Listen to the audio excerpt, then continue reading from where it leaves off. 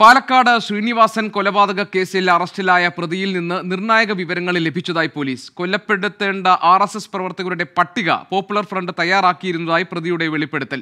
കൊല്ലപ്പെട്ട ശ്രീനിവാസനും ഈ പട്ടികയിലുണ്ടായിരുന്നു അക്രമം നടന്നാൽ ഇരുപത്തിനാല് മണിക്കൂറിനുള്ളിൽ തിരിച്ചടിക്കാനുള്ള ലിസ്റ്റാണ് തയ്യാറാക്കിയതെന്നും പോലീസ് പറയുന്നു. കൊല്ലപ്പെടേണ്ടവരുടെ വീടുകളുടെ സ്കെച്ചും ഫോട്ടോയും പോലീസ് കണ്ടെടുത്തിട്ടുണ്ട്. മലപ്പുറത്തും പാലക്കാട് ജില്ലയിലെ ആലത്തൂരിലുമുള്ള R S S B J P നേതാക്കളുടെ പേരുകളാണ് ഈ പട്ടികയിലുള്ളത് എന്നാണ് അറിയുന്നത്. ഉണ്ട്. ലിസ്റ്റ് നമ്മുടെ കൈവശമുണ്ട് നേരത്തെ ഉണ്ട്. ആദ്യം നമുക്ക് ഈ കേസിലും ലിസ്റ്റിൽ ശ്രീനിവാസം ഉണ്ടായിരുന്നു. നമ്മൾ കണ്ടെത്തിയ ലിസ്റ്റിൽ ശ്രീനിവാസം ഉണ്ടായിരുന്നു.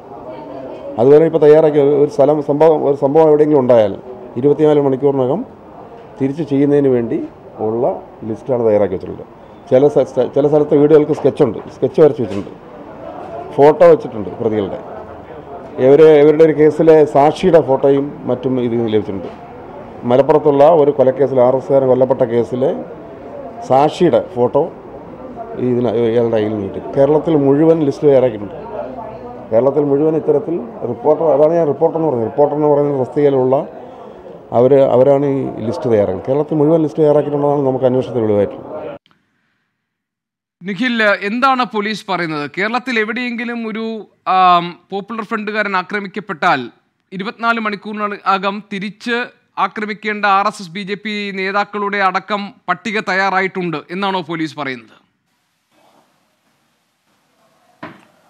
എസ് ഗോപീകൃഷ്ണൻ കൃത്യമായി അതാണ് ഇന്നിപ്പോൾ Palakkad narcotic S L D Y S P നമ്മളോട് പറയുന്ന കാര്യം ആ തരത്തിലാണ്. അക്ഷരാർത്ഥത്തിൽ ഞെട്ടിക്കുന്നതാണ് ആ സംഭവം. നേരത്തെ തന്നെ ഇത്തരത്തിൽ പട്ടിക തയ്യാറാക്കി കൊലപ്പെടുത്തുന്നു എന്നുള്ള ആരോപണങ്ങളൊക്കെ പല മേഖലകളിൽ നിന്ന് ഉയരുന്ന സാഹചര്യം ഉണ്ടായിരുന്നു. പക്ഷേ അതിന് കൃത്യമായ തെളിവുകൾ പോലീസിന് ലഭിച്ചു കഴിഞ്ഞു എന്നുള്ളതാണ് പോലീസ് വ്യക്തമാക്കുന്ന കാര്യം. ഇതിലേക്ക് പോലീസ് എത്തുന്നത് ശ്രീനിവാസൻ വധവുമായി ബന്ധപ്പെട്ട് ഇന്നലെ ഒരു പ്രതി പിടിയിലായിരുന്നു. മലപ്പുറത്ത് നിന്നാണ് മുപ്പത്തി എട്ടാം പ്രതി സിറാജുദ്ദീൻ പിടിയിലാവുന്നത്. സിറാജുദ്ദീനെ കോട്ടക്കലിലെ ഒരു വീട്ടിൽ നിന്നാണ് പിടികൂടുന്നത്. മറ്റൊരു പ്രതി കേസുമായി ബന്ധപ്പെട്ട മറ്റൊരു പ്രതി അന്വേഷിച്ചെത്തിയപ്പോഴാണ് സിറാജുദ്ദീൻ പിടിയിലാവുന്നത്. ഇയാളിൽ നിന്നാണ് ഈ നിർണായക വിവരങ്ങൾ പോലീസിന് ലഭിച്ചത്. അതായത് എവിടെയെങ്കിലും ഒരു പോപ്പുലർ ഫ്രണ്ട് പ്രവർത്തകന് നേരെ ആക്രമണം ഉണ്ടാവുകയോ കൊല്ലപ്പെടുകയോ ചെയ്യുകയാണെങ്കിൽ ഇരുപത്തിനാല് മണിക്കൂറിനുള്ളിൽ തിരിച്ചടിക്കേണ്ട ആളുകളുടെ പട്ടിക B J P R S S പ്രവർത്തകരുടെ പട്ടിക ഇവർ തയ്യാറാക്കി വെച്ചിട്ടുണ്ട് എന്നുള്ള ഞെട്ടിപ്പിക്കുന്ന വിവരമാണ് പോലീസ് നൽകുന്നത്. അത്തരത്തിൽ ശ്രീനിവാസന്റെ പേര് ഈ പട്ടികയിൽ ഉണ്ടായിരുന്നു എന്നും അദ്ദേഹം പറയുന്നുണ്ട്. ഇപ്പോൾ പിടിയിലായിട്ടുള്ള സിറാജുദ്ദീന്റെ കയ്യിൽ നിന്ന് പാലക്കാട് മലപ്പുറം ജില്ലകളിലെ R S S B J P നേതാക്കളുടെ പേരുകളാണ് ഈ പട്ടികയിൽ ഉള്ളത് എന്നും അദ്ദേഹം പറയുന്നുണ്ട്. അതോടൊപ്പം തന്നെ ചില R S S B J P നേതാക്കളുടെ വീടിന്റെ സ്കെച്ചും അതോടൊപ്പം തന്നെ കൊല്ലപ്പെടേണ്ട ആളുകളുടെ ഫോട്ടോയും അടക്കം ഇവരുടെ പക്കൽ നിന്ന് പിടിച്ചെടുത്തിട്ടുണ്ട്. ഒരു പെൻഡ്രൈവ് ഈ സിറാജുദ്ദീനിൽ നിന്ന് അന്വേഷണ സംഘത്തിന് ലഭിച്ചിട്ടുണ്ട്. ഈ പെൻഡ്രൈവിൽ നേരത്തെ കൊല്ലപ്പെട്ടിട്ടുള്ള എലപ്പുള്ളിയിലെ സഞ്ജിത്തിനെ കൊലപ്പെടുത്തിയ ശേഷം ആ മൃതദേഹവുമായി ഓട്ടോറിക്ഷയിൽ ആശുപത്രിയിലേക്ക് പോകുന്നത് വരെയുള്ള ദൃശ്യങ്ങളും കണ്ടെടുത്തിട്ടുണ്ട്. അതോടൊപ്പം തന്നെ മറ്റു ചില കൊലപാതകങ്ങളുമായി ബന്ധപ്പെട്ട തെളിവുകളും ഈ പെൻഡ്രൈവിൽ നിന്ന് ലഭിച്ചു എന്നാണ് പോലീസ് പറയുന്നത്. ഇത് വളരെ ഗൗരവത്തോടു കൂടി സംസ്ഥാന ഇന്റലിജൻസും സംസ്ഥാന പോലീസും നോക്കിക്കാണേണ്ടുന്ന കാര്യമാണ്. ഈ പോപ്പുലർ ഫ്രണ്ടിന്റെ പ്രാദേശിക റിപ്പോർട്ടർമാർ എന്നറിയപ്പെടുന്ന തസ്തികയിലുള്ള ആളുകളാണ് ഈ ലിസ്റ്റ് തയ്യാറാക്കുന്നത്. അതിൽ അത്തരത്തിലൊരു റിപ്പോർട്ടറായിരുന്നു ഇന്നലെ പിടിയിലായിട്ടുള്ള സിറാജ്. കോട്ടക്കൽ റിപ്പോർട്ടറാണ് സിറാജ്.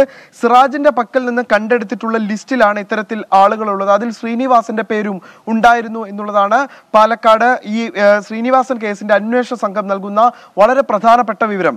ഈ കേസിൽ ഇനി പതിമൂന്നോളം പ്രതികൾ ഇനിയും പിടിയിലാകാനുണ്ട്. മുഖ്യ പ്രതി അടക്കമുള്ളവർ ഇനിയും പിടിയിലാകാനുണ്ട്. അതിനിടെയാണ് ഇത്തരത്തിലുള്ള വളരെയധികം ഞെട്ടിക്കുന്ന ഒരു സംഭവം.